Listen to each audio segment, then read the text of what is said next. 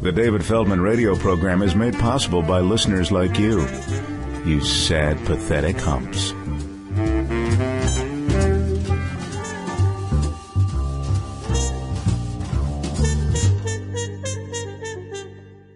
Remember how they would always come? Oh, that's a good name for a band. Patricia Heaton's Abortion. Oh, I say that's like an uh, that's a running joke with me. If, if I hear a funny turn of phrase, I always say that's that's the name of my band. I, I'm in an emo Right. band called. You're in an emo band called. Whenever I hear, I'll s- I'll probably make that joke twice in this podcast. I think this Okay. is. Are we rolling Challenge yet? accepted. it's like what's the frequency, Kenneth? But it's are we rolling yet, Alex? Do you know the origin of what's the frequency, Kenneth? No. So it was something with Dan Rather, right? Mm-hmm. Yeah. He was beaten up by muggers in an alleyway on Park Avenue. Yeah. Because it was saying- he was using too many colloquial phrases. Put a pin in it. Stop hurting me. Wait, and so he randomly shouted that out, right? Stop hurting me. Oh my god. I love Dan Rather. No, they were screaming, "What's the frequency, Kenneth?" while they were punching him, and then Michael Stipe from REM, or as I call them, the Rapid Eye Movements.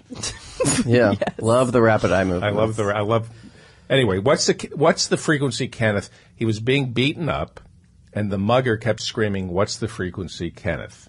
That's a very weird thing. Which shout. means, you know, what does that mean? But here, you know, can you imagine being poor Dan Rather, the anchor man of the CBS Evening News? Yeah. It's a shame it wasn't Tom Brokaw because then we could all do the voice. Oh, oh, you're her. Joining us is Andrew Goldstein, and uh, that would be our Andrew Goldstein and Kristen Buckels. Kristen Buckels is a writer, producer, comedian. She co-produced "Oh Hello" Oh, off hello. Broadway, off Broadway, I should say. with the Cherry Lane Mr. Theater. Mulaney Nick and, Kroll. and Nick Kroll, and my daughter has seen that five times. I've not- seen it twice. It's supposed to be absolutely. his- Is that the Cherry Lane Theater? It- I mean, the off Broadway version was at the Cherry Lane Theater, and then the Broadway. It's now on Broadway, the Lyceum. It closes January twenty second. And it's gotten great reviews. Yeah, yeah. And you also were the associate producer of New York Story, which is on Netflix right now. yeah Colin please go Quinn. watch it. hmm And you're going to be at Union Hall in the Bell House in Brooklyn next year Mm-hmm. with your new show called Late Night Period. Mm-hmm. So that's exciting. Thank you. And you're a very funny, smart person. Thank you so much. And also with us is a very funny, smart person or Jew. Let's just call him a smart Jew. I think you go Jew first. okay. To be fair, I'm Jewish. David also. Friedman is a bankruptcy attorney, and he is going to be the new ambassador to Israel in the Trump administration. I hear he's a great guy. Welcome, David Friedman. The hey, you have called Jews who want a two-state solution kapos, people who have just collaborated with the Nazis in the concentration. No, Andrew Goldstein is a writer, producer, showrunner. He started off as an NBC page. He's gone on to work with MTV, Geico, Guy, Geico. No, Geico Insurance. I just saved 15 Percent. minutes. Geico, that whole universe of TV shows. Yes. Uh, he hosts a podcast here at Showbiz Studios with Matt Goldich, who writes for Late Night with Seth Meyers. Yes, sir. It's called "Sorry I've Been So Busy." People should download it. How how can people download? You can just find it on iTunes. it's and, called uh, "Sorry I've Been So Busy." Yeah, and if you follow me on Twitter at AngeGold, A-N-G-E-G-O-L-D, I tweet about it all the time. Matt does as well at Matt Goldich on Twitter. No T in that. And you don't have a podcast yet. I don't have a podcast yet. Is that something I'm supposed to do? I I thought everybody has Everybody has a podcast. Yes. Okay, maybe I'll think of a title while we're here today, and I'll start that. WWE. Yeah, I did that in 2006. I wrote professional wrestling. Even Linda, though did you meet Linda McMahon? Who's I did. just joined the Trump administration. she wasn't very present, but I did meet her and I did find her to be sort of the only level-headed McMahon. Because Vince is a bit of a sociopath. In the best possible way, he's a creative genius. He's an absolute genius, but he's also a raving lunatic. Sounds about right. brain damage from because I would think he's taken a couple hits. to the They head. all have, yeah. The son, the son, Shane McMahon, just wrestled at their last pay per view and got a very serious concussion. He had to be stretchered out in in, in a For rea- reals? for real, not a not a storyline concussion, a real concussion. They're out of Connecticut. They are Stamford, Connecticut. If you drive up 95, you pass it. Right, so Titan Lin- Tower. Linda McMahon ran for Senate in Connecticut, mm-hmm. She's since joined the Trump administration. He was a wrestler, Trump. He went into the ring. He has Vince. had a few dalliances in the WWE. He, he uh, famously uh, WrestleMania. I forget the number, but it was the WrestleMania when I was there. So 2007, the WrestleMania. In uh, he uh, was on a team with a wrestler named. Bobby Lashley versus Vince McMahon and a wrestler named Umaga, and they wrestled, and the winner was going to shave the loser's head. And so Team Trump won, and Donald Trump shaved Vince McMahon's head in the center of the ring. Okay. s do you Okay. do you watch? WWE? I don't watch it, but I know I know of it because I was uh, I was with the associate producer on the Chris Gethard show last season, and we had um, X Pac, Colt Oh. Cabana, and Rhino on to do a wrestling segment for our. That's how you know. Rhino. Well, Colt Yeah. Cabana, very big podcaster, very very Yeah, yeah, um, I know he's prolific active. podcaster. Yeah. And uh, I He's met. I met X Pac working on Race Wars with Sherrod and, Oh, and really? Kurt. X Pac is very cool.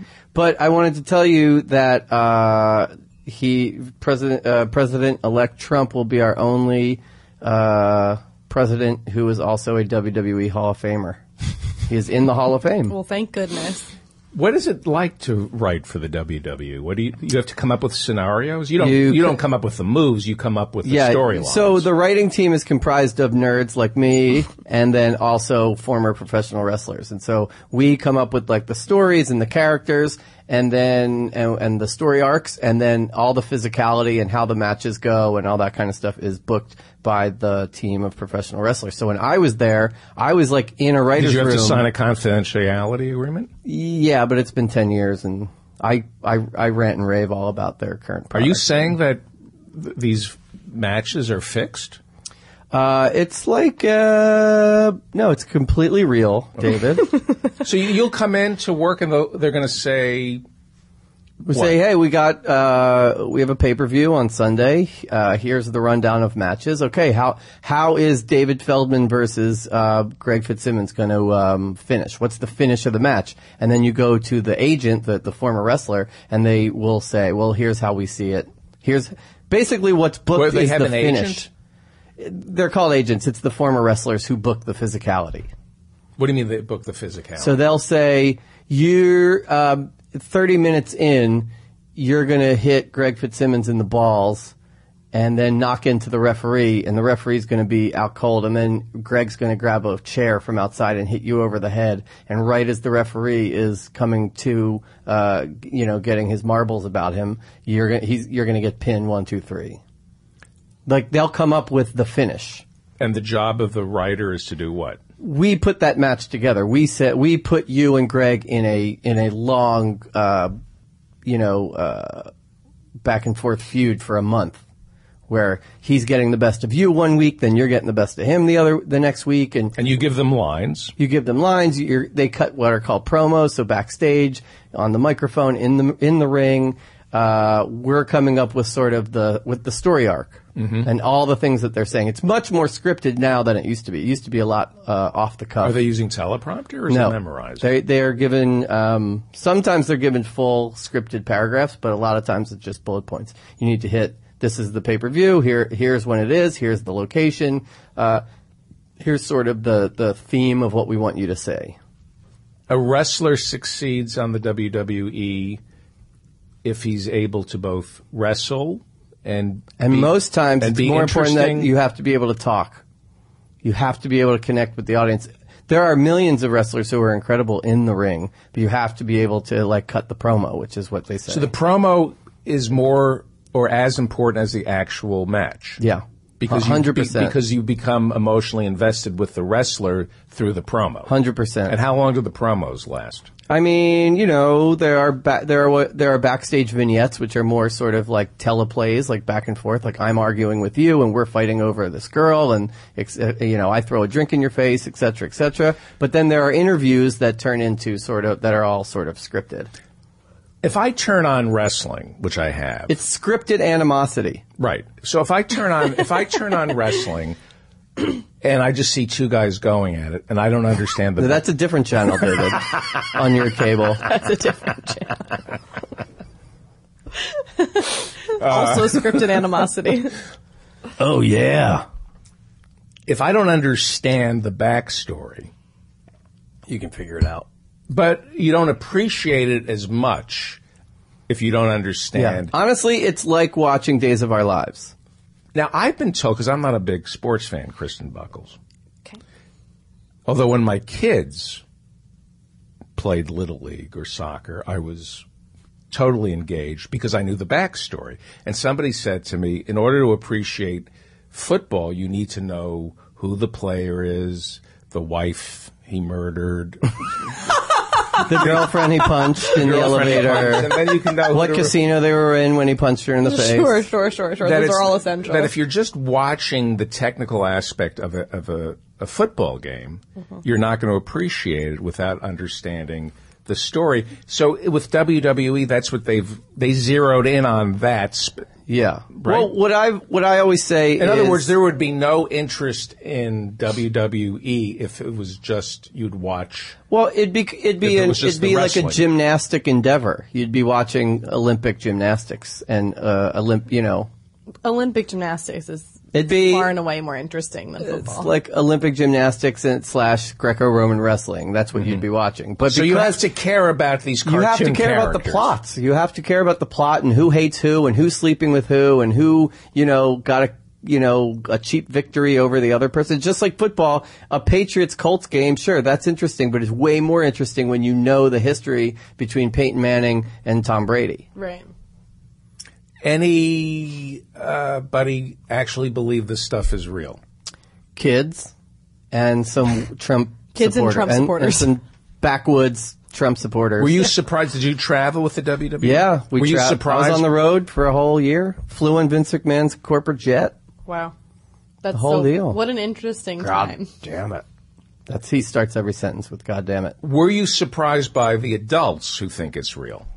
Or does Um, everybody is is is the fun that we're all in on this? Even the no, the no adult actually thinks it's real, but adults there's massive suspension of disbelief, and so uh, the adults who get really into it are totally cool taking two hours out of their life to to buy in hook, line, and sinker into what they're watching in the ring and really get invested in the storylines. and they're guaranteed a great match. As opposed to most you, of the time, you go see Mike Tyson fight. You have no guarantee. UFC, that's the big problem with UFC. You pay all this money to, to watch this like $90 pay per view, and the match could be 30 seconds of the first round. It's just a knee to the groin. And there is an obligation. I know that Muhammad Ali would keep a fighter up a couple of rounds just to get. Here, here's what I always say, because people always say, like, why'd you stick with it? You're in your 30s. Like, the people, us- kids usually give it up around 12, 13 once they start noticing girls. Why'd you stick with it? Why I love it is because. you still watch it. Yeah, I still watch it. Why I love it is because um, pro wrestling has uh, cornered the market on the holy shit moment that you might get once or twice a football season if you follow your favorite team. You know, there's that one great play from the season. There's maybe like a handful of like, oh my god, get out of your seat moments in a season. Whereas every time you watch professional wrestling, their whole goal is to m- make one of those moments happen like every 10 minutes. But doesn't it? But doesn't it? Isn't that not as a holy shit of a moment? Because the holy shit moments in baseball, like the Cubs, you know, winning the World Series and going into extra innings, is genuinely nail biting. You genuinely don't know Yeah. what's going, to and you know that it's real time. It's happening right now, Well, as opposed to wrestling. you You, know, know, it's bullshit. Wrestling is holy bullshit. Holy bullshit. It's Okay, complete cool, bullshit. cool, cool. The- it's a great point, and you know they lull you into, oh my god, this sucks, this sucks, this sucks, this is so stupid. Why do I waste all three hours on a Monday night watching Monday Night Raw? And then, you know, you'll turn it on three weeks later, and something incredible will happen. I mean, Okay. I'm not saying like every night something shit groundbreaking happens, but Mm-hmm. enough happens, enough breadcrumbs are left for you to get to the point where you see the like holy shit moment. You know, there just was one where Brock Lesnar beat Bill Goldberg, who hadn't wrestled in 12 years. Bill Goldberg beat Brock Lesnar. Bill Goldberg is the Jewish wrestler. He is the Jewish wrestler. He beat Not only are his matches fixed, but so is his nose. and his penis.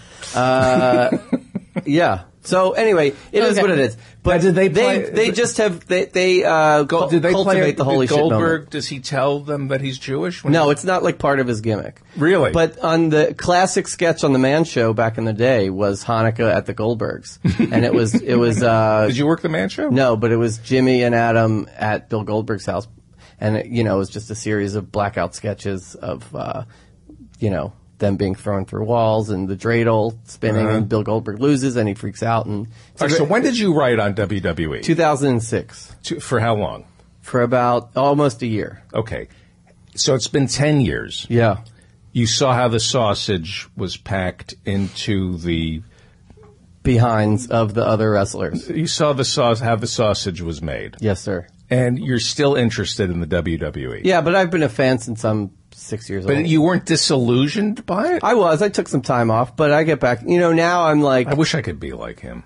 I really you do. get back into it. No, I I was never into it. As a kid, I used to watch Gorilla Monsoon, Yeah. and Bruno Sammartino, I could talk about this all day.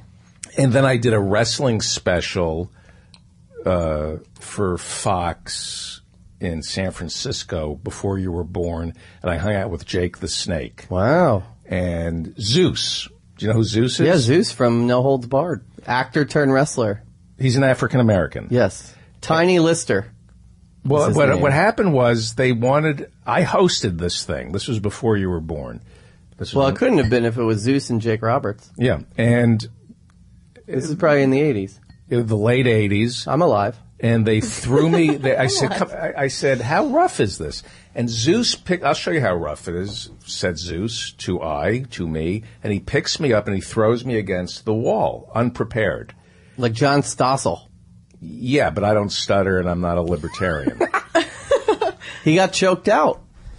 It's a major moment in wrestling Yeah. history, John Stossel. and Richard Belzer was Richard able Belzer to buy a well. house in. and then obviously on Letterman with the whole Andy Kaufman. well, that was fake. But we're, we're, fake. We're, I'll go back. to Okay, so Zeus picked you up. Zeus picked me up, and I'm thinking, all right, house in France, like Richard. Belzer. Here we go. Belzer bought a house. You're thinking of your lawyer as he's picking you up. Uh-huh. and he throws me against the the wall, and like a schmuck, I go, "That's genius." Yeah. I, that's that looked and sounded like you just broke my neck and nothing. I got Yeah, uh, they're very good. They, they That's nothing. And then for a month later, I I was black and blue underneath my armpits. Are you serious? Yeah, Oh that my he God. knew.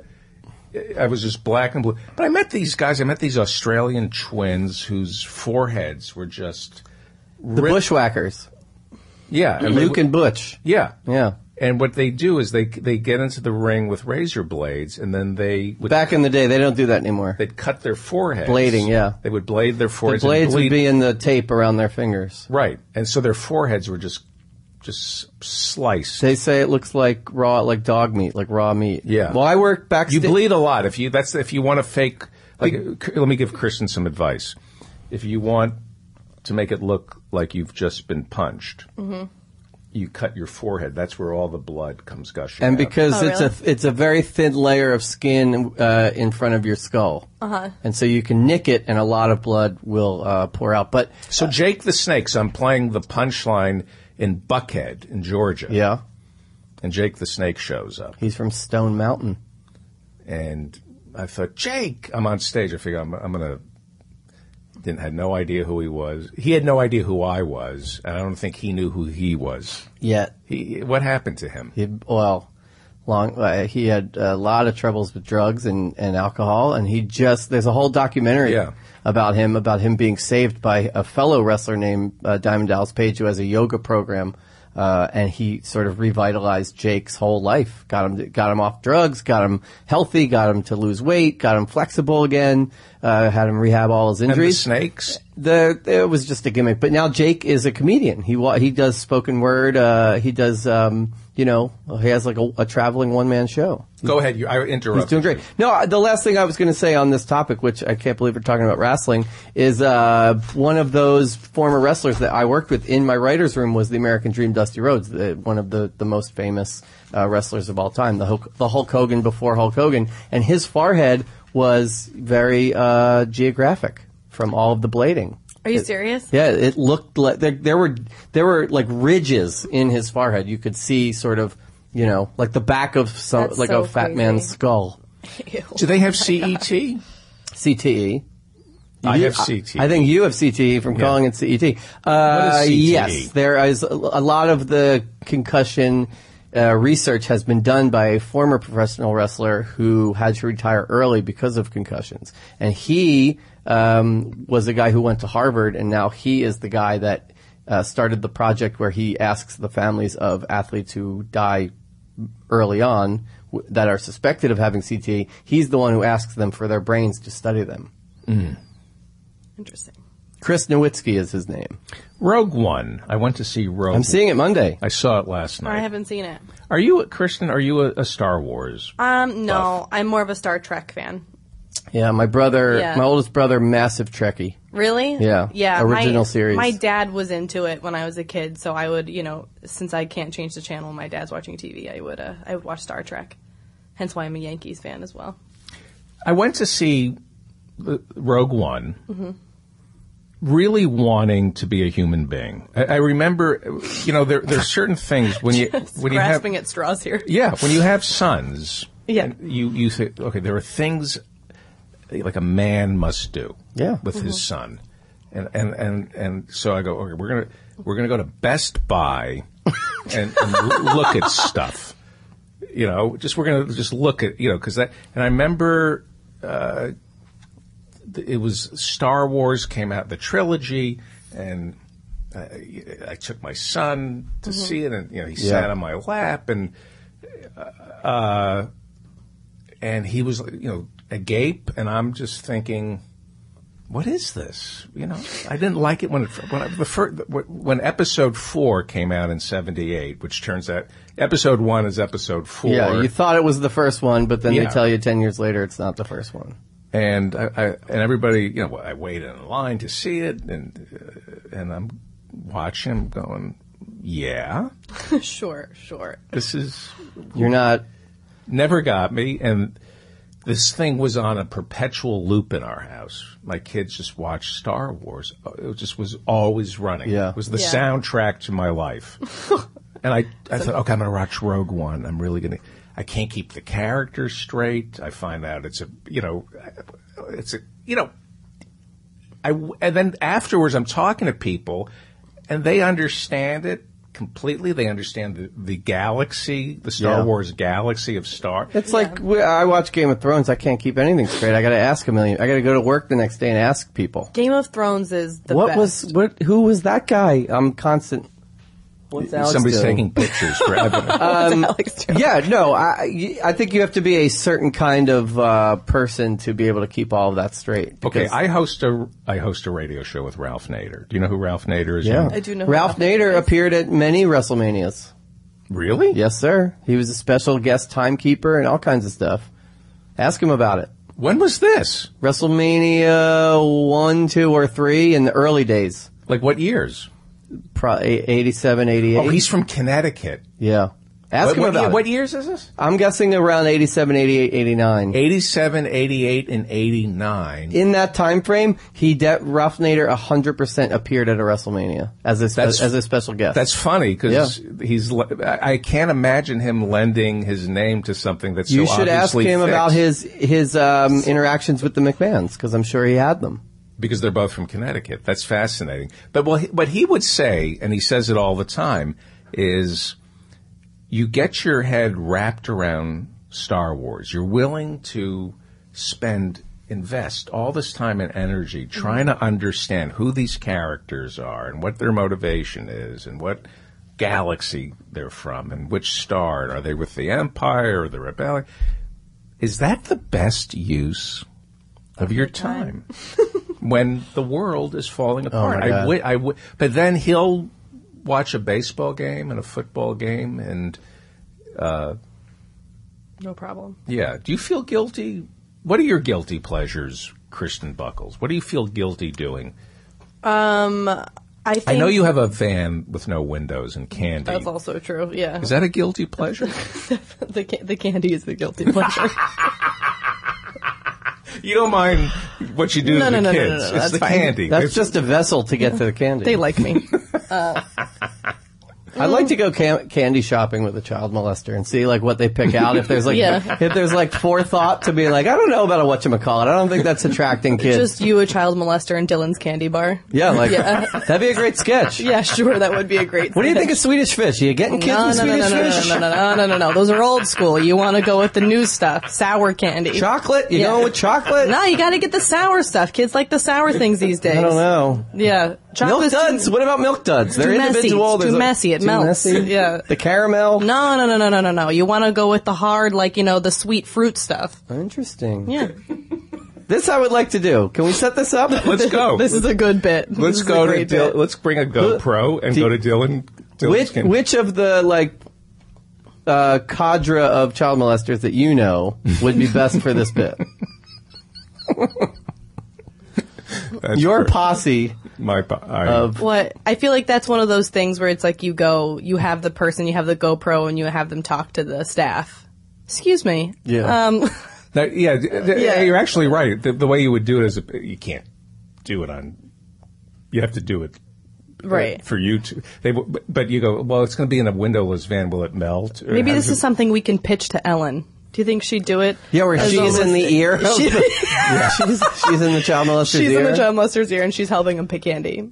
Back to your original question. Thank I you. have I have started to feel guilty a little bit. Like when I get home from work now, I just feel kind of stupid watching putting on ESPN and like pardon the interruption and stuff. Like I will put on MSNBC because I feel like, especially during the election, but now that the election's over, I I just feel like I need to be informed, and I feel kind of stupid and I'm wasting time if I'm watching a four hour football game instead of like, oh my God, Trump misspelled. I, I, I, yeah, I don't want to talk about politics. No, I'm- or, or government or issues. I, I want to. we don't have to. I'm just saying. I do feel there is. Guilty. As I get older, there is a there is a like God. I'm spending four hours watching a football game when I could be. There are more productive things to be doing. Yeah, I think I get I I feel guilty when like I'll sit down to write and it's just like not going well, and then I'll like all of a sudden it'll be an hour later and I've been scrolling through Instagram.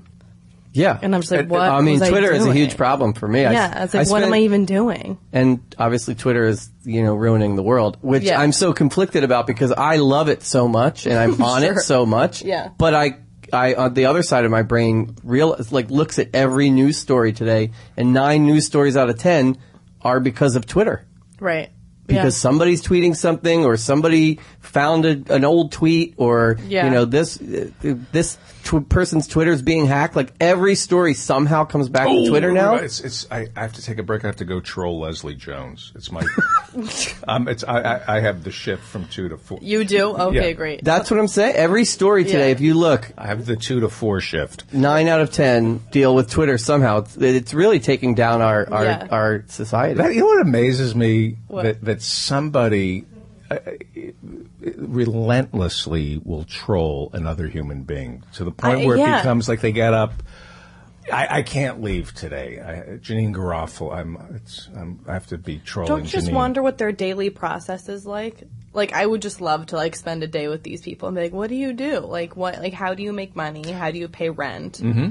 Who who are your friends? well, that's where the whole like parents' basement narrative comes from, but I don't think that's I don't wholly think that's true. no. I think it's you know like like Brenda in Ohio and she's 35 years old and desperately lonely and hates her life. Like I don't Well, I have. I have an idea.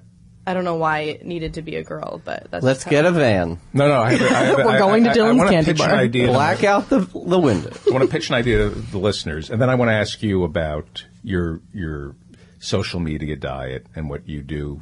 Oh, Kristen, yeah. when you're because I'm always interested. gluten free. But No, let, fuck let- let me pitch an idea, Okay. but I need the listeners to get behind this. So there are these alt right trollers who send anti-Semitic, mm-hmm. anti-black things and anti-women stuff. If we, you, you know, you can buy Twitter followers. I didn't even know that. You didn't know that? No. Bots. Really? Why? Why would you want to do that? I don't understand. Because if you want to look more success, Newt Gingrich mm-hmm. ran for president in 2012. The minute he had declared his candidacy, he had two million Twitter followers, and somebody went through them and found out that like 90% of them were, Were bought. purchased. Yeah. So like any other political election. Yes. Great. But you can you don't know that you can buy Twitter followers? no, I didn't know that. Like for $800 you can get like 2 million Twitter followers. They're they're all so fake. Dumb to me. Right. Why? Because the, because then people go to you and they go, "Oh, she has 2 million followers." you mean something. You're important. That makes me nauseous. I'm always amazed at what people, what you can get. It almost makes me think about buying Twitter followers. If somebody as smart as Yeah. you doesn't realize, so you would think that I was more popular if I had more Twitter followers. But I want to meet Maybe. them. If I buy them, I want to meet them. Yeah, all of them personally. At a Did you know that gathering you, at the did you know that you Center. can buy YouTube views? You can buy YouTube views? I'm I'm serious. I'm well, hang on. For once, are you serious? No, I'm serious. I honestly didn't know that you could do that. Yeah, you can buy. Am I YouTube. making myself look dumb here? No, no, I, I- I'm amazed at you. There, there, yes, there, there are in Vietnam. There are little, there are factories that turn out views like bots. Uh, yeah, the Los Angeles. That's I've talked about this a million times on the show. The Los Angeles Times did a a story about this. Somebody was running for attorney general. No, he was running for DA in Los Angeles, and the LA Times didn't understand how a candidate for DA had half a million views on his video for you know his campaign video. Is that how Tomi Lahren gets all of her views? Who's Tomi Lahren? that horrible. She works at H and M during the day, and then she goes home and makes these videos on Facebook talking about right wing issues. Oh, oh, a Trevor Noah interview. Yeah. Yeah. right. She looks like an H and M uh, She's crazy. counter person. Yeah, she does. So the, the LA Times found out that they did an experiment. They they literally made a video of paint drying, and for seventy five dollars, they were able to get two hundred thousand views. That's it. Seventy-five dollars. Yeah, Yeah. but now they were not real views, but it showed up as real views. That's so weird. Yeah, well, a lot of this is when they talk about fake news. I, I want to get back to what we're. I wanted to ask you, but when they talk about fake news, Speaking of paint drying, this podcast. I'm joking. when they talk about fake news uh, on Facebook, Facebook is a fake company. Yeah. Well, They uh, can't audit. They, they when you advertise on Facebook and you say how many views did my video get, they'll say two hundred. Uh, okay, uh, if I work on a television show, the Nielsen's will say this show has two million viewers. Who's the independent auditor who tells me how many Yeah. views this Facebook video has? Uh, we, we say it does. Right, but you're the company charging us for. Like, I want to advertise on this video that you gave us, or I want to advertise on Facebook, and you're saying this has this ad has fifty thousand views. Yeah. Who's where's the independent auditor? We're the independent auditor. Yeah. It's a fake company. Yeah. And they and if you Google, assuming you can trust Google, Google Facebook independent auditor, Okay. and you will discover that Facebook has been lying about their numbers, and there's Sure. nobody auditing the numbers. So, Okay. can you imagine an entire multi-billion-dollar business built where people say uh, it's true because we say it's true? These numbers are true because we, We say so. we say so.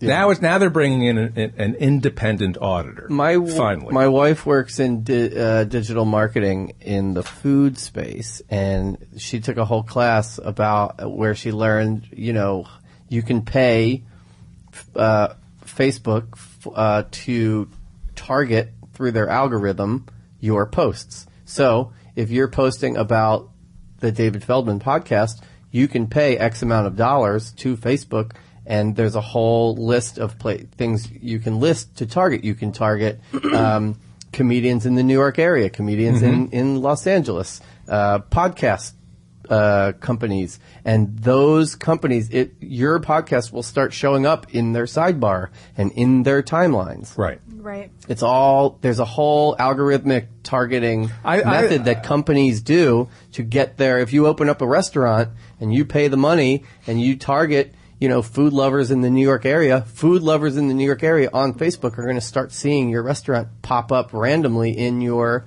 in your feed. I mean, the whole thing is. I mean, they've, they've Assuming that's true. It is 100% No, no, I know because I've done it. I've taken out ads on Facebook, and it is fascinating because you can. What you can do is you can say, you know what, uh, I just did a podcast with Greg Fitzsimmons. I want to advertise this, and Alex, you've done it, right? So it says, and it says, who do you want to reach? balding uh, commu- Well, it's it's based on who. It's based on what you've liked in the past. So I got Alex on that one. do you like Bill Burr? Uh, So it says we, you want to reach the Bill Burr fans. Right. There are you know two million Bill Burr fans. Click that. Yeah. So now your ad is going to be seen by. See? But that's all well and good, and that's a good business model. But prove it. Yeah, We can't prove it. No, of course not. But not. you'll bill me for it. Yeah. And now independent auditors are Well, supposedly coming in to monitor Facebook's advertising uh, claims. Facebook and Google control something like 50% of all The market share. Yeah. of, Wow. of, of digital advertising. I, I, I didn't want to go off I've on that. thought this about Nielsen ratings for years. I've thought this about clicks on all social media. I thought this about. I think this about polling. We saw in the election polling. Wi- There are lots of holes in that. I just hate the idea of like the the idea that like a hundred thousand people represent seven million people. So what happens among the hundred thousand? These are all arbitrary numbers, but what hap- the, the tendencies of a hundred thousand people chart the tendencies for 50 million people. I hate that. You get up in the morning, Kristen. What time? Um, this morning I got up late. I got up at ten thirty. And do you immediately check your electronic device? Yeah, yeah. You're, you're not supposed to. No, I know. And I- you're, you're under the Yeah. age of 30. Yep. Hence why she woke up at 10:30. You're under the age of 30. Do you know that your electronic devices are sometimes bad for you? Are you aware of that? Oh, 100%. I think it's something that actually really bothers me. It bothers me that the second I'm like like feeling uncomfortable or that I'm bored, I just immediately go on Facebook or Instagram and just like scroll. I don't even know what I'm looking for. And I and I've sort of like started like, Validation. yeah, exactly. I'm so lonely. No, I'm just kidding. But um, I'll just go to like I don't know. I don't know what I'm doing, and it's just like a ha- It's just a habit. I feel like it's the new smoking. It's just like you just immediately. It's I'm not even thinking about it. And what apps are you going to? Just Instagram and Facebook. Okay, Facebook, I think most of my listeners, Mm-hmm. because Facebook is people, Everybody. everybody's on Facebook. Yeah. And Facebook is great. Yeah. But I, the point I was making is uh, they don't pay their fair share of taxes. I want to get just, I don't want to be political today. I want to keep it light. Mm-hmm. Facebook doesn't pay their taxes properly. The uh, Sheryl, uh, what's her name? Lean in Sandberg. Sandberg met with Donald Trump last week, Mm-hmm. Which was a disgrace. I hope she wore a cup when she leaned in. I saw your. That was a very funny post, by the way. I hope she wore a cup. Lacey appreciated that one. which I, I thought it was disgraceful for Sheryl Sandberg, who writes this book about women, how to make Yeah. it in show, uh, show, how to make it in, well, it is. How to Same make it in showbiz. Made it. Sat down and normalized Donald Trump. Yeah, that's She's- fascinating. it- it's disgraceful. So Facebook has a lot to answer for. Yeah. But uh, my listeners use Facebook, and I'm. Uh, they use Twitter, even though Twitter nobody understands how, No. the, the, the nomenclature of Mm-hmm. Twitter. What you said you use what? Instagram. What is Instagram? It's just photos. It's, like a, visual. it's, yeah, it's like a photo. It's like yeah, it's like a, a visual And Twitter. who owns it? I think Twitter owns it. I think the yeah. same people that well, own it was independent. It got bought by Twitter, but Yeah. And what's on it? Just, Just photos? photos. Yeah, just like pictures. Here, I'll show you really. No, fast. no, no, no. But No. this is- we're, we're doing, Well, I s Facebook Don't has, show me, tell me. Facebook Okay. has become old, um, old person Instagram Because if you if you if you um, scroll Facebook now, it's all pictures. Grabbing your here, here's what I cannot stand. It's all pictures, but it's it's social media through uh, visuals. Yeah. So you take a picture, you post it, and all of your followers see it, and they say, "Oh man, David Feldman's having such a cool day." don't ju- don't cool day he's having. for uh, Kristen. You're oh, I'm just I'm juice splaining. You're Jews planning? Yeah. Oh, you're Jewish. I am Jewish. You know what um, drives me crazy? This with, is with Jew people on that- juice splaining. This, what drives me crazy What? are the voices in my head. Sure, No, no. sure, sure. Wait, what Yeah, drives yeah. me crazy is stop looking at my plugs. Are you No. are you getting plug? Are you thinking of getting plugs? No. Oh, what? David. I have eyes- eye contact issues. Do you really? Yeah, I, I used to always get accused of staring at people's foreheads. Really? Yeah, it's an issue. You're making me Oh. self conscious about my hair. All right, I'm just gonna look at. Yeah, you Why just can't look you at make eye my state- contact with me? I have. I don't know. I'm like uh, youngest of three, and uncomfortable socially. You can't make eye contact. I'm very good socially, but I have bad You eye contact. Okay. Okay. I've, wor- I'm working on it. I hate it when I'm talking to somebody and they say, "Let me show you," and they whip out their phone, Oh, like I just did. like you just. What did. if they whip out their cock? I can't do that. Sorry, Why, why? Why can't you? I don't understand. just carry. On. Okay, so you go to Instagram, Mm-hmm. and where do you get your news from? Facebook. You Unfortunately. get your news. No, I have no. Actually, I read the Washington Post and uh, the New York Times. I have both those apps on my That phone, that sounds good. and I read those in the morning. What do you read? I just whatever like the latest sort of thing is. I think I feel very uh, I like Mike Lupica. Like Lupica. I've been I- I, have been listening to Amy I have Goodman Lupica. since Amy the last. Goodman's the best. I've been listening to her Tell- since I came who is last Amy- time. What? I've been listening to some of her stuff since the last time I came here. Tell us who Amy Goodman is. I, I honestly don't know specifically. Democracy Now! If you want to Yeah. know what the news is, but I have been Dem- listening to her. And culturally, like, what do you? What TV shows are you watching? Um, I mean, Game of Thrones was a big one for me. What compels you to watch that if you don't understand Peer it? pressure. No, you know what? I didn't like my favorite show of all time, and will, nothing will ever beat it. I feel is Breaking Bad. I worshipped that show, and I love Better Call Saul, the spinoff, which is coming back. Um, and then, uh, but yeah, but you know, me and my boyfriend like to find like shows that we can like watch Binge watch. binge watch together. So Game of Thrones is one we started, and we we were easily five episodes in, and just being like, I'm not, I can't do this. It's too much. And then and then like after the first season, it's so good. What is nagging at you every day? The thing that you feel you should be doing that you're not. Writing And what should you be writing? anything, sketch, more stand up. And when Uh, do you? When are you supposed to be writing?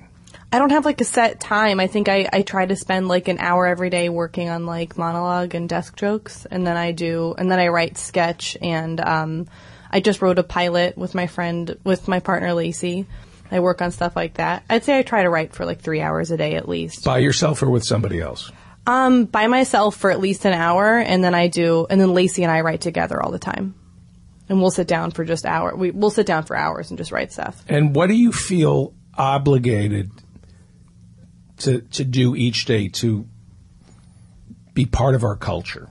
That's that's something that's work, like the writing thing. But what do you feel like? Yeah, I'm not staying up. I'm not. I'm not relevant. What do you feel that you have to check and do every day so you feel part of the culture? Um, I think that I try to fight that urge, but I would say that yeah, like checking into Facebook or seeing what's going on on Instagram or seeing like what happened. Like, yeah, I mean, I, Do you unfortunately, feel like you need to know what's going on in our culture? Yeah, Why?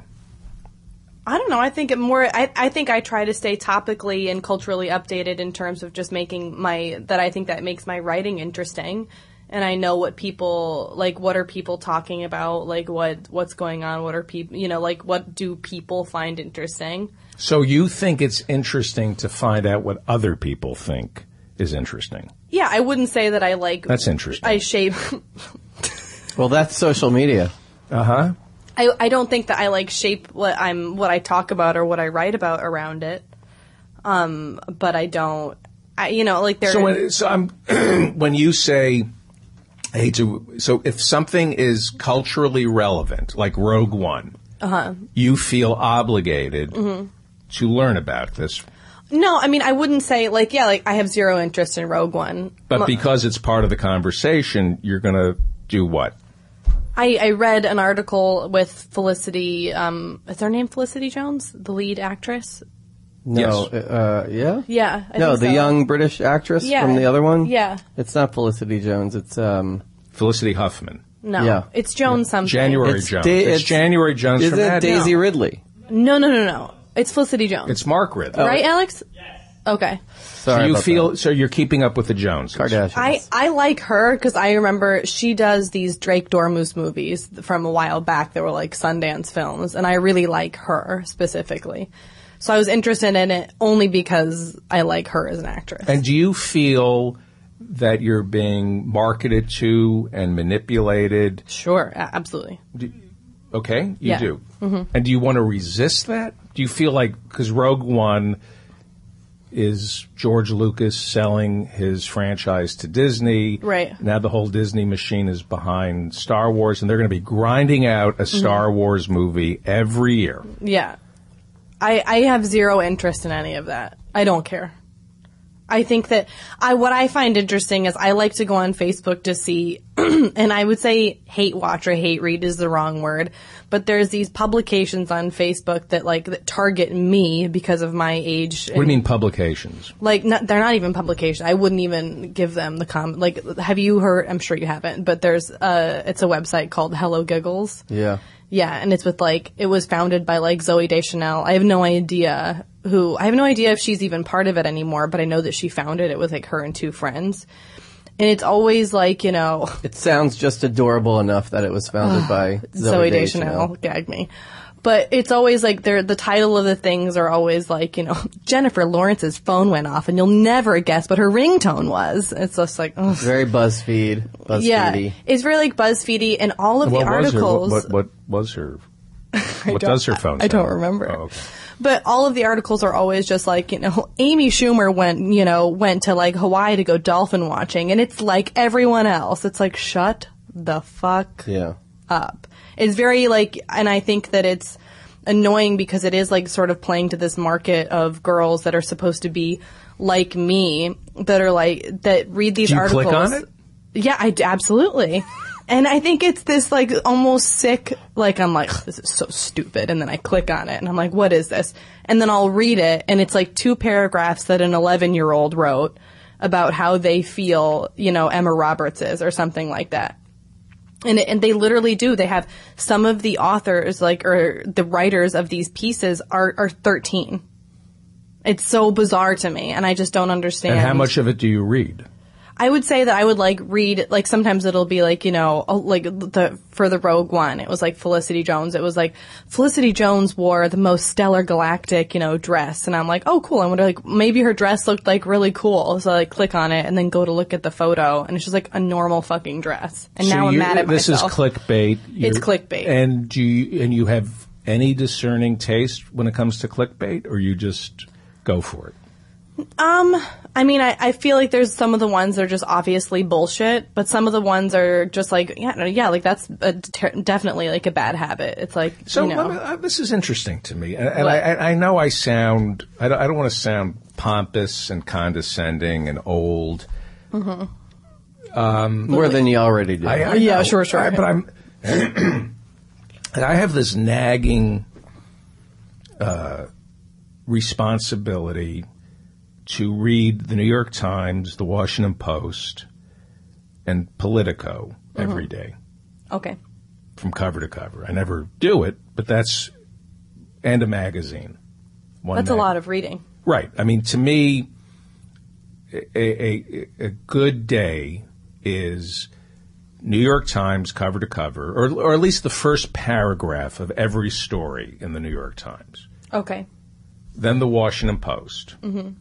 And then Politico. And by the time I'm done with the New York Times, I feel like I'll I'll just skim the Washington Post, read the first paragraph.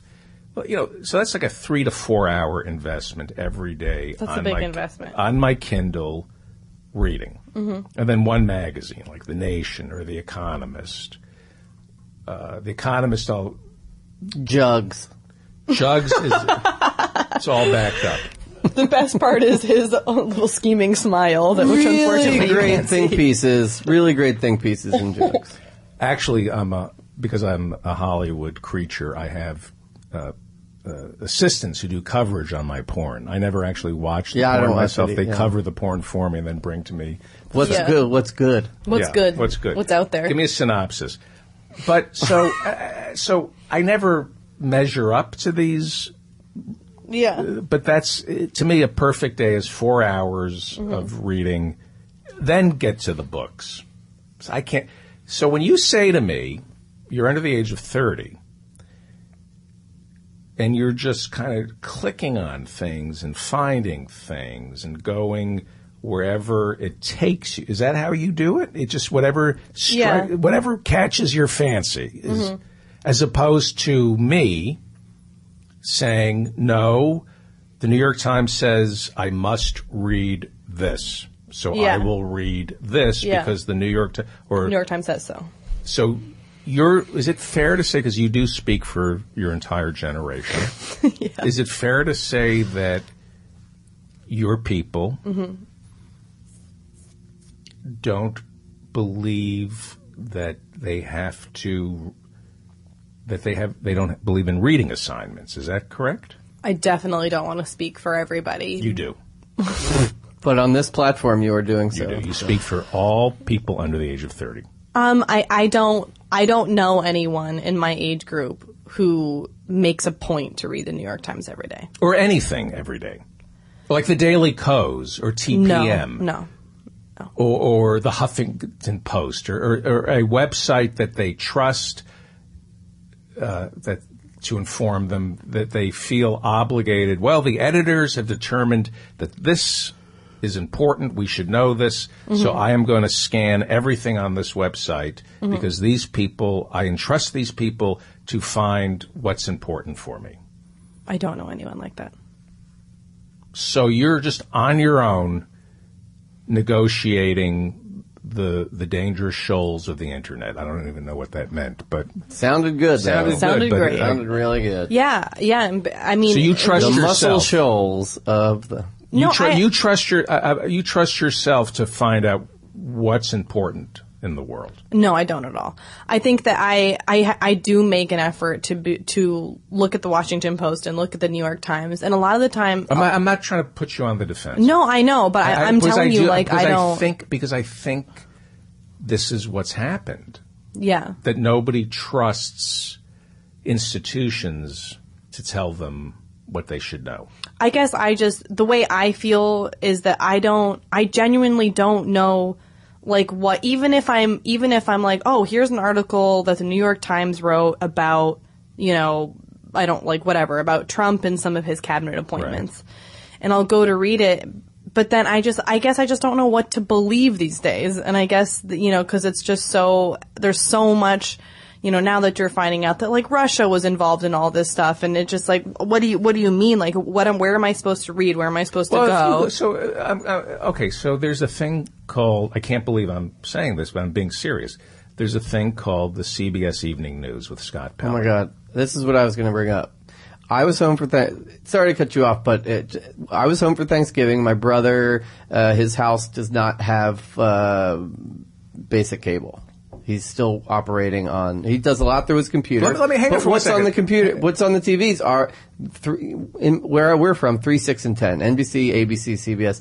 And for the four days I was home for Thanksgiving, I wa- I watched local news and, and the network nightly news. And it was so refreshing and it was like a giant weight off my shoulder because I was just watching, I was just hearing news. I wasn't hearing opinion. I wasn't hearing talking Right. heads. I wasn't hearing, ba- uh, you know, banter and conjecture. I was hearing the news, the story, the lead and the reporting and then move on to the next story. And I, it, it was so refreshing. And I was like, we need, that's, that's, to me, it was like this huge crystallizing moment of like, that's really where we've gone wrong. The cable, if you took away cable news, this opportunity for, for just me, talking heads to give opinion, everybody to give their opinion and just stuck to the news, we, I think we'd be in a better place. Absolutely. Yeah. What do you? So you're under the age of 30 mm-hmm.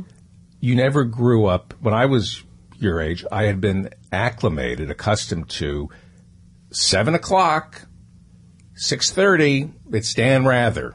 He's going to tell us what happened today. Peter Yeah. Jennings, Tom Brokaw. I I hundred percent. I mean, my my dad is a extremely well read, intelligent man, and he. I woke up every morning to NPR. I my dad read the newspaper every single morning. We'd wake up, I'd eat breakfast, and he'd read the paper, and he'd give me the funnies. And then, you know, and every night my dad had the news on and he, you know, my, my dad was always very well informed. So I, I wish I could say that it was, a, you know, like I never had the news on at my house, but it's not but, true. not- but that's but your generation might think that he's not well informed. But you're saying you don't trust Yeah. the New York Times. You don't. Tr- It's not that I don't trust the New York Times, it's that I don't know how to navigate the New York Times effectively.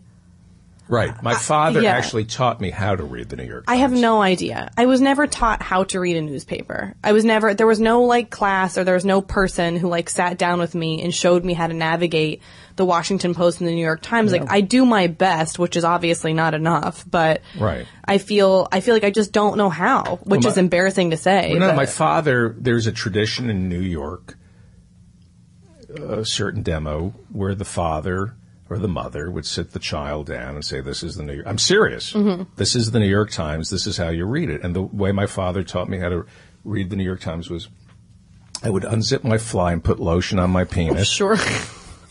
It's, I can't- it's like a yod in synagogue. You know, that's the thing you hold on Yeah. the Torah. Yeah. yeah. It's a little hand. My father sat me down like when I was 10. He said, okay, this is the New York Times. You read the entire front page. Okay. This is, this is what he taught me. You read the entire front page of the New York Times 1st mm-hmm. That's how you start your day. It says continued on page 17. Don't do that. Read the front page. If you make a mental note to then follow up later, if you have time to read, you know, the continued, then turn, turn, turn the paper over.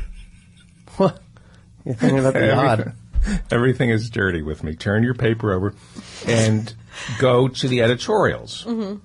and read all the editorials because that's what the President of the United States is reading, which is true. That's a great point. the President of the United States is reading the. New York Times editorials, so you want to know what the President is reading. Then read the op-ed mm-hmm. because you'll there's certain columnists who you should read every day in the New York Times. So opposite the editorial page are the uh, columnists who you should read because they make you want to read the news. Once you, if you read this back then, it was James Reston and Tom Wicker. These were the uh, you would read them. And they'd be talking about something, and they would make it interesting. That would make you want to go back to the front page and read the rest of the those newspaper. stories. If you have time, Yeah.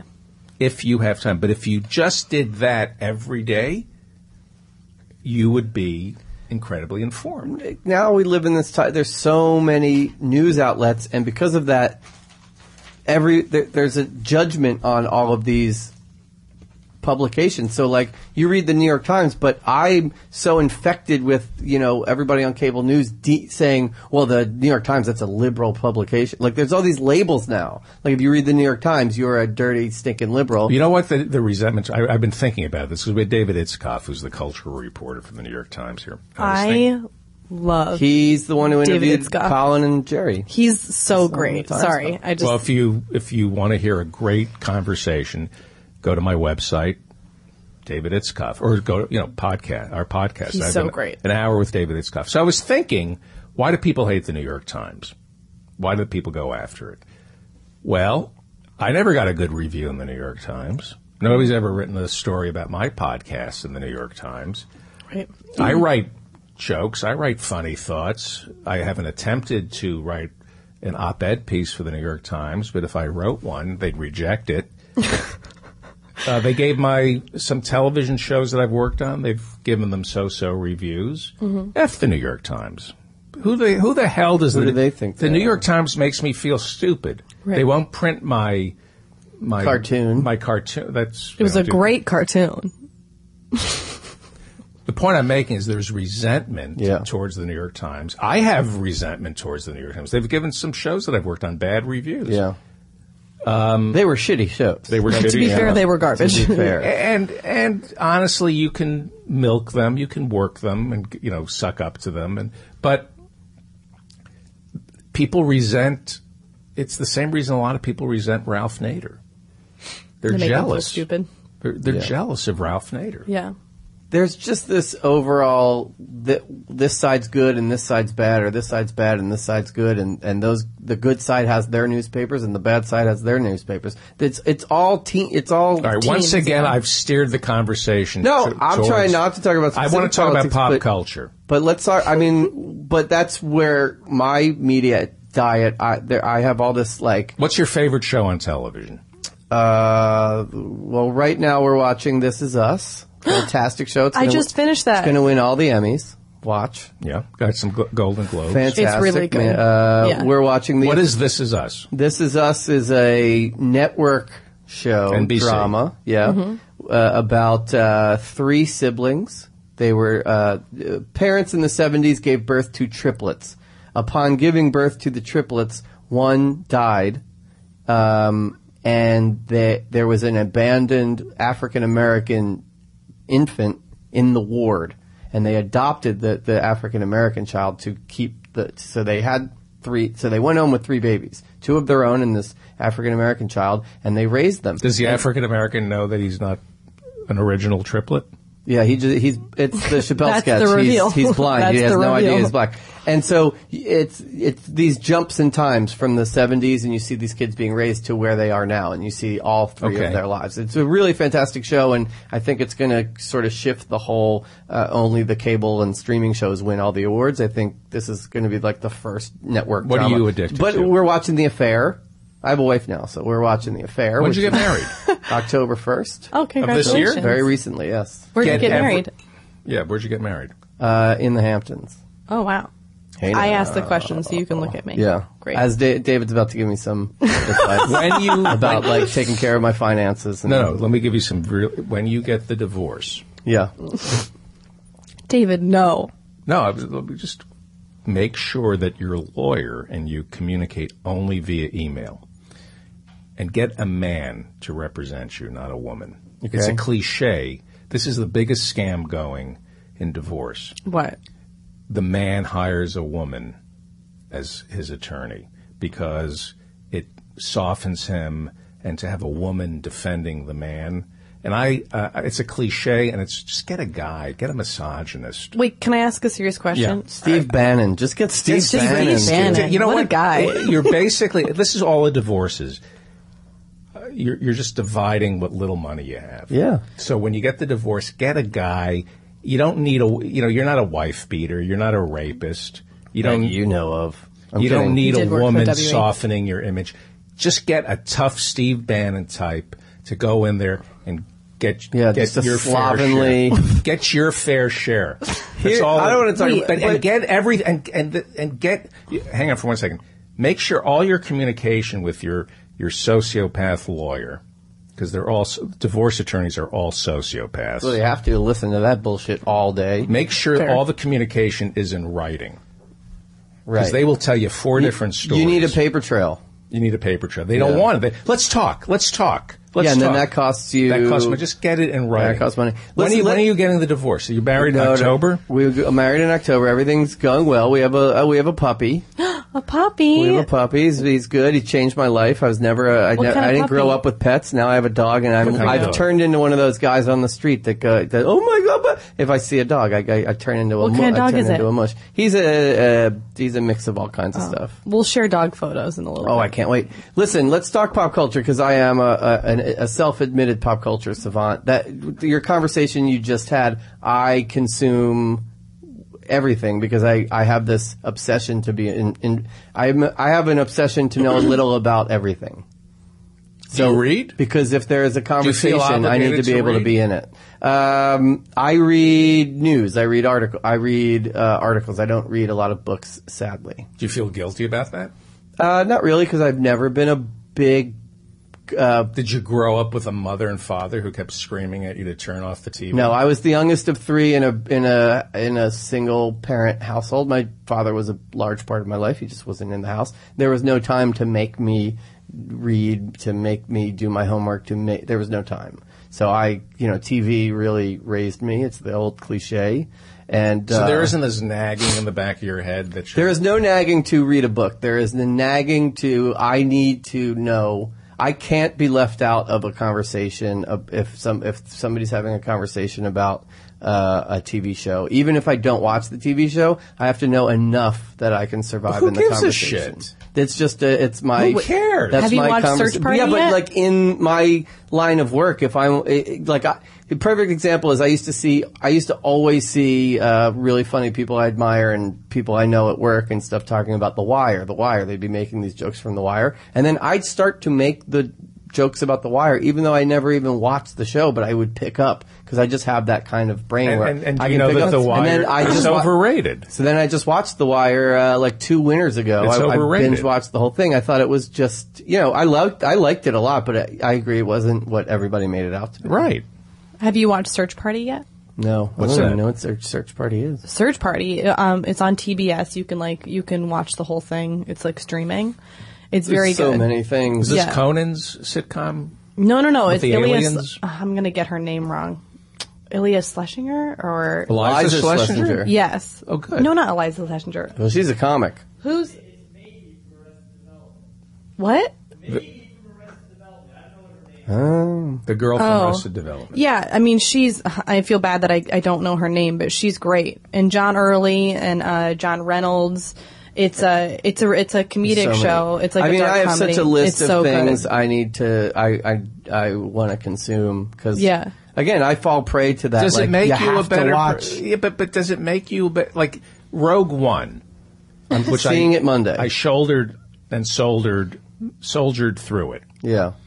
You did your best. There was one scene, you know, uh, the force is with me. I'm at one with the force. The force is with me. I'm at one of- with the force, and I was moved by that.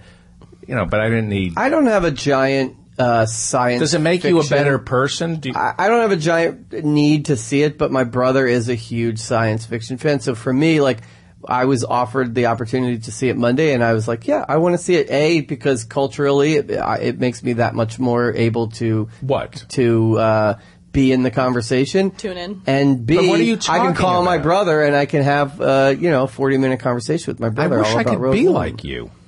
I need So to care. consume everything. I wake up, I look I at wish my I phone. could follow sports because I, you know, there I could talk to. That's the anybody. other thing. I waste so much time. I have to know.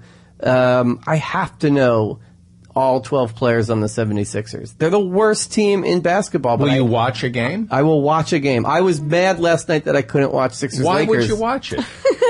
because it, and it was on national TV, Sixers Lakers, and I couldn't watch it because we had plans, and it was like killing me. I went to see Louis C.K. last night, and all I was thinking about was I, I, I really wish I was watching Sixers Lakers. It's just a, it's a neuroses, man. And you watch the game for enjoyment, or so you could talk to your brother about it. Well, there's a lot of that. I have like uh, my basketball friends that we, t- you know, I'm a huge, I'm a huge sports fan. You know, uh, my podcast partner Matt Goldich, he puts it best in his Twitter bio. It says, "Huge sports fan for some dumb reason," for some dumb reason. and I, I, I that really speaks to me because I can't figure out why.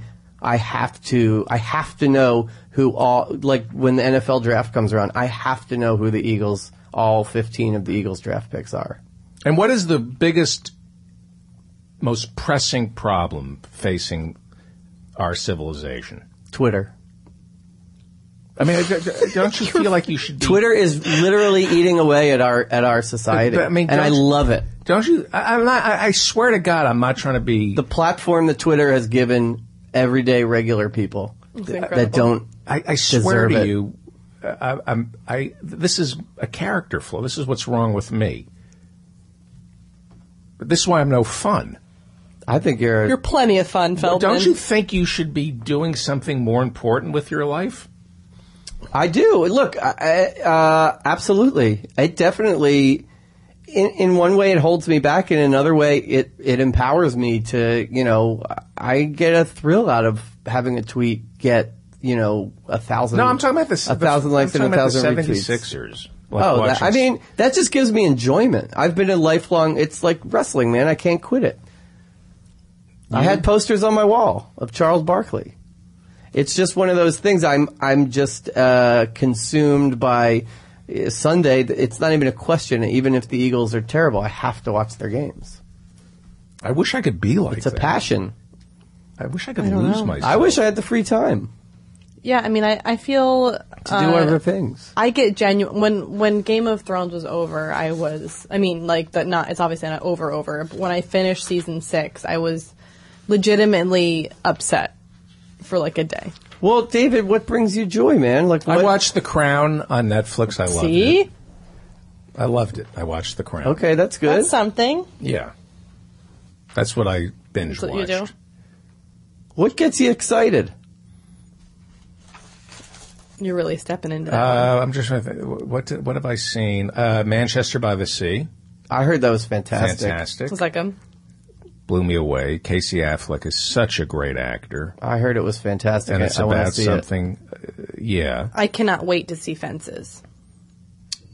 Uh, yeah. What, what else have I seen? Movies I don't see enough of. Oh, and I saw a documentary called The Best Worst Thing Ever to Happen. Oh, yeah? Is that on? Uh, Net- it's about. is that on the Netflix? No, it just came out. It's a documentary. It's, it's about uh, Merrily We Roll Along. It was a Hal Prince, Stephen Sondheim musical that uh, came out on Broadway in '81, and a guy named Lonny Price was in it. And he made a documentary about what it was like to be in a in a Broadway play. That's that, great. That failed. like the producers. Yeah, yeah.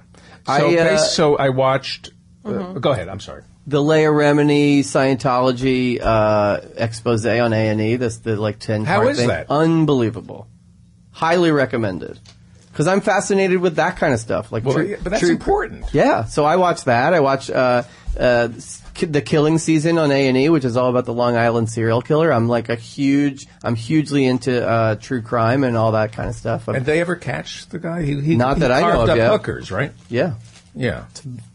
insanely fascinating. He would carve up hooker. It would be great if I just go into specific details. And it turns out I'm that guy. Here's what he did. He took burlap sacks and Did you watch uh, Stranger Things? yeah, love. That's the best show. That was the best show of the year, I think. Oh, really? I I I thought it was a good show. There were so many it. holes that pissed me off. Yeah, I'm not that guy. That pick, I'm not a nitpicky hole hole picker. But the psoriasis with uh, John Turturro's feet, it was Yeah. a, it was uh, it was a it was a lot. Well, there's a benefit for the ACLU that I'm doing with John Fugelsang Frank Conniff, Jordan Carlos, Joe Firestone. Joe Firestone. Yes, tickets are ten dollars. It's Wednesday, December twenty eighth, twenty sixteen. Doors open at seven thirty. Show starts at eight. It's at Union Hall in Brooklyn. Got to be twenty one years or over. And what a what a great show. Um, and whoever did the press for this, by the way, really loves me. Yeah. Did you do the press release on this? Wait, Boy, you did? No, uh, David and David Feldman. Ampersand. bastard. And David Feldman. Jor- Jordan Carlos from I, Jordan is the fucking He was best. a yeah super talented guy. Larry Wilmore, right? Yeah. He was on Yeah. Guy Code, Uh-huh. but he was on Larry Wilmore. Yeah. he was on and- my last show. And uh, uh, the, the credits on this show are amazing. John Fugelsang, apparently he's been on MSNBC, has his own show on Sirius XM. It says here that Frank Conniff is a beloved star of Mystery Science Theater 3000, and and David Feldman has a podcast. It says here. That's it. That's all I can learn And David Feldman David has a podcast. Yeah. So anyway, it's for the ACLU. God, my manager hates me. Uh, let's plug some gigs. This was fascinating. Andrew Goldstein, how can people get in touch with you? At Ange Gold on Twitter, A N G E G O L D. Uh, my name backwards, Goldstein Andrew on Instagram. But more importantly, the podcast. Uh, sorry, I've been so busy on the Showbiz Network. You can find it on iTunes. We talk to really busy people about what they're busy doing, or not so busy people about what they're lying about being. What's busy your with. best episode? What's the so people can We just had Sherrod Small on, and uh, it was really fantastic. We've had Neal Brennan, Judah Friedlander, Todd Barry. We also have like TV producers and writers, and Dan Powell, who ma- who was uh, the co-creator of Amy Schumer, was you know just really cool, interesting re- people doing really cool, interesting stuff, and uh, we really get into the nitpick, like the minutia of their everyday. You know, how they take their coffee, how they do they wake up to a snooze alarm, or, uh, just like really, really, we dive deep into uh, the the everyday minutia of life, and co-hosted with Matt Goldich. Um, but uh, I recommend you listening to a few of them. They're they're uh, we've been having a blast doing them.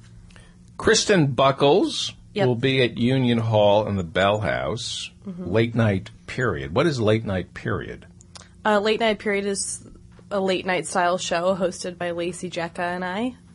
And uh, we do our own style of late night show, and it has stand up with it. We'll have different guests. And uh, wait a second. So this would be like a late night talk show. It's a, yeah, I, I would we would Variety say show. A variety show, yeah. La- Lacey and I have uh, sketches and bits, and then st- and we do stand up. Is But the name can- a double entendre because it's hosted by two women? Yeah, But I don't understand. How can there be a late night talk show hosted by women? so confusing, isn't I know. it? I don't, don't get it. It understand does what- not Yeah, no, no, no, no, no. What, what, what do you like? What are you talking? Well, t- to be fair, no one gives a rat's ass or will show up, so it's going to be great. We're excited. And Collins, uh, you, you work with Colin, who Colin, who's the best? he is the best. Yeah, Why is he the best? I don't know. Is his work ethic? I mean, he's just so funny, but is it just? he work you know and like he works so i've never met anybody who works so hard the man is constantly writing constantly creating something constantly doing a show like he, he works so hard and he's genuinely the nicest person Yeah.